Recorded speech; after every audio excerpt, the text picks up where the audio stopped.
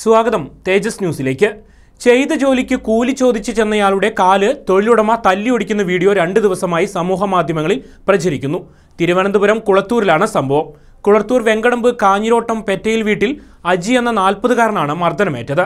കുളത്തൂർ ഗ്രാമപഞ്ചായത്ത് പ്രസിഡന്റ് ബെൽസിയുടെ ഭർത്താവ് ജയചന്ദ്രനാണ് അജിയെ മർദ്ദിച്ചത്.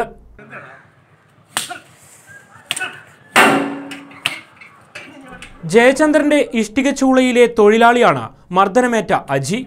ഇദ്ദേഹം അല്പം മാനസികാസ്വാസ്ഥ്യമുള്ള ആളുകൂടിയാണെന്നാണ് വിവരം. അജിക്ക് ജയചന്ദ്രൻ കൂലി ഇനത്തിൽ പതിനായിരം രൂപയോളം നൽകാനുണ്ട്. പലതവണയായി കാശ് ചോദിച്ചു ചെന്നെങ്കിലും നൽകിയില്ല. തിങ്കളാഴ്ച വൈകിട്ട് വീണ്ടും ജയചന്ദ്രനെ സമീപിച്ച അജി പണം ആവശ്യപ്പെട്ടു. നൽകാതെ വന്നപ്പോൾ പരുഷമായി സംസാരിച്ചു. ഇതാണ് മർദ്ദനത്തിന് പ്രകോപനം. നീളമുള്ള വടികൊണ്ട് ഇരു കാലുകൾക്കും ശക്തമായി അടിക്കുന്നത് ദൃശ്യത്തിൽ കാണാം. മർദ്ദനത്തിൽ അജിയുടെ കാലിന് പരിക്കേറ്റ് രക്തം വാർന്നൊഴുകുന്നതും രക്തം നിലത്ത് വീണ് തളം കെട്ടി കിടക്കുന്നതും കാണാം. അജിയെ പിന്നീട് നെയ്യാറ്റിങ്കര ജനറൽ ആശുപത്രിയിൽ പ്രവേശിപ്പിച്ചു. മനോനില തെറ്റിയ ഒരാളെ പട്ടാപ്പകൽ പരസ്യമായി മർദ്ദിച്ചിട്ടും പോലീസ് കേസെടുത്തില്ലെന്നും ആക്ഷേപം ഉയരുന്നു. പ്രതിയുടെ ഭാര്യയും പഞ്ചായത്ത് പ്രസിഡന്റുമായ ബെൻസി കോൺഗ്രസ് പ്രതിനിധിയാണ്. രാഷ്ട്രീയ സ്വാധീനം ഉപയോഗിച്ച് കേസ് ഒഴിവാക്കാൻ ശ്രമം നടന്നതായാണ് പരാതി ഉയരുന്നത്. News bureau Thiruvananthapuram.